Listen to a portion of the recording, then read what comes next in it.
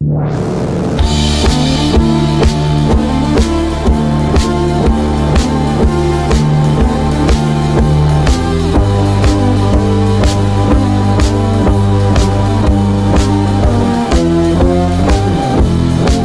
what I do is drop the bottom loop end through the inside of the fin strap. I then put the rubberized tips together and then push them through the loop on the bottom of the lace.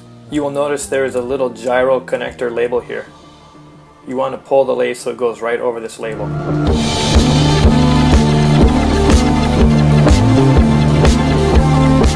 You can arrange the lace so that it's flat on the inside of the strap. That will leave you with this setup right here. Now I'm going to explain to you how to tie the knot.